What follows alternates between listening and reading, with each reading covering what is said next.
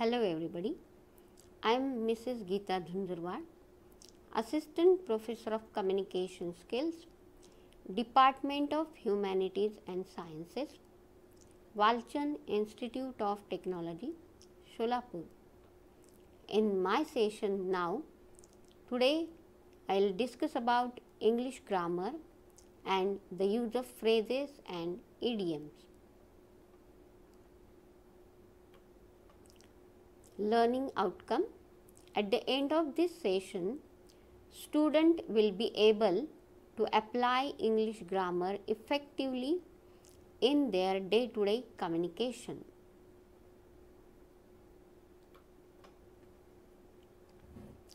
The content of my session is importance of using phrases and idioms in english language and types of phrases, the definition of phrase and idioms and the usage of phrases and idioms in sentences.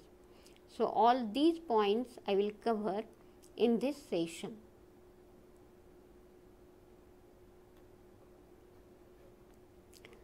So, let us discuss first what is the use of phrases and idioms in our day to day communication. Take a pause, think about this question and try to give the answer.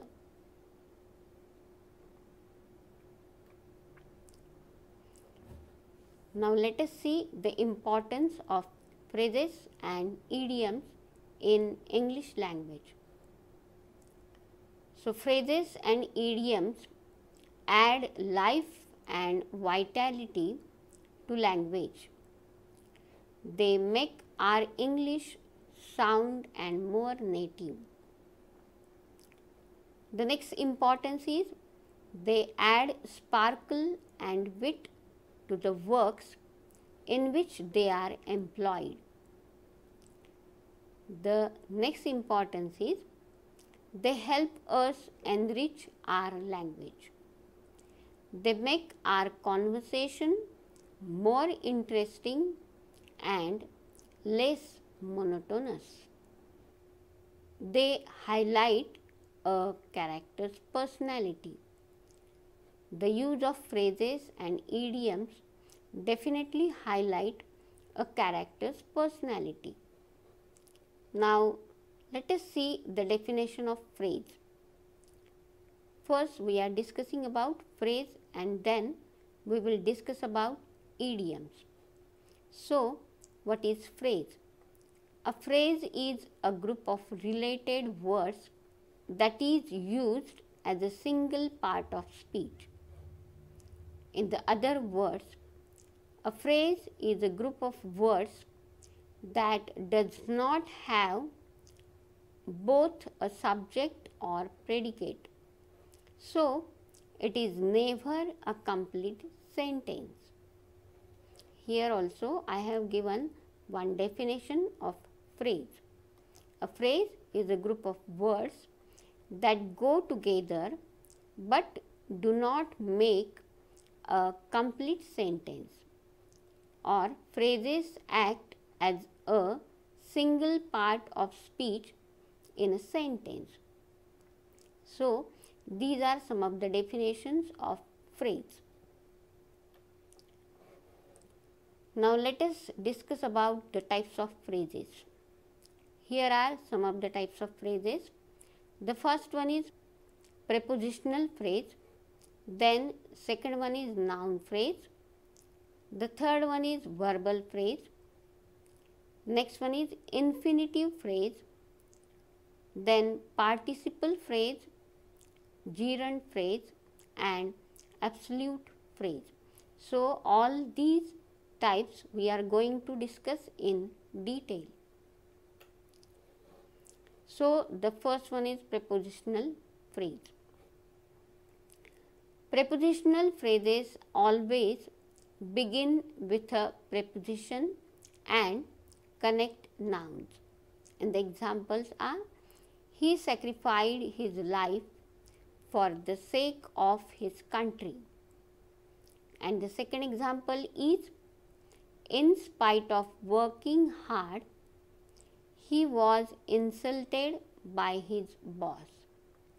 So, a prepositional phrase is a group of words consisting of a preposition, its object and any modifier. So, here is a list of prepositional phrases. So, go through all these one. The next one is noun phrase. Noun phrases usually assembled centering a single noun and works as a subject, an object or a complement of the sentence. And the examples are a man on the roof was shouting. So, here the noun phrase is a man on the roof. The next example is he is wearing a nice red shirt. So, in the first sentence, the noun phrase it works as a subject. In the next one, it is working as an object. And see the next example we are sorry for her departure. So, in this sentence or in this example, the noun phrase works as a, as a complement of the sentence. So, a noun phrase is a group of words that consist of a noun and its modifiers and together acts as a noun. The next one is verbal phrase.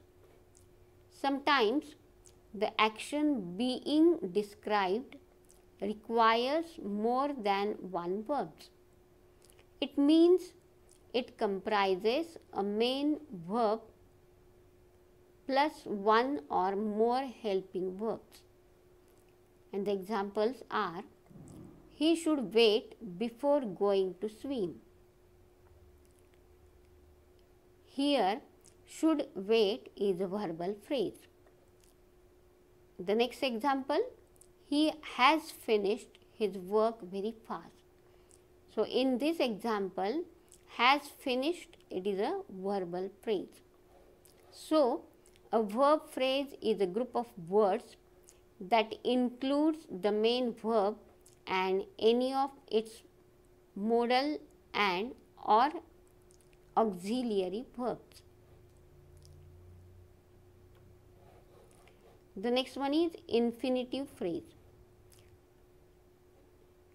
A phrase that includes an infinitive along with a simple verb is an infinitive phrase. Infinitive can act as a noun, adjective or adverb in a complete sentence and the examples are Alex likes to read comics. So, to read it is an infinitive phrase. The next example is to keep his child calm, he learn on the radio. So, in this example, to keep is an infinitive phrase.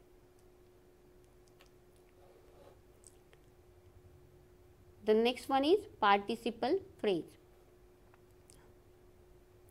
Participle phrase engines with a participle may be present or past and the examples are please sit down without making a sound. So, in this example making is a participle phrase making a sound. The next example the house was severely damaged by the flood. In this example, damage is a past participle, gerund phrase. Phrase contains an ing form with modifiers, functions as an adjective, adverb or a noun. And examples are the second example reading novel reading novels is a good habit so reading novels reading is a gerund phrase. The last one is absolute phrase. It contains a noun or a pronoun with a particle. And the examples are He sat on the bed, his clothes neatly folded by his side. So, in this sentence, his clothes neatly folded, that is an absolute phrase. See the next example. He looked towards the beggar, his face expressing pity. In this example, his face expressing that is an absolute phrase. Now, let us discuss about idioms. Idioms are expressions that help us describe an exact situation in a different and more creative way. An idiom is a figure of speech that means something different than a literal translation of words would lead to believe. These idioms have a figure at meaning and basically work with pictures. So, let us see the first idiom. It's raining cats and dogs. It is a colorful way of saying that it's raining really hard outside. It's raining cats and dogs and I'm worried about how my kids will reach home. So, in idioms, the literary meaning is different. The second example is cool as cucumber. The meaning is very calm and composed and untroubled by stress. And example is my friend is nervous about taking his driving test, but I am cool as a cucumber. So, these are some of the examples of idioms. When you are able to use idioms and phrases comfortably in your speech and writing, then you have achieved a higher level of mastery and fluency in language. So, it's good idea to master some of these expressions. These are some of the references, these are some of the links I have used to create my PPT. Thank you and have a nice learning.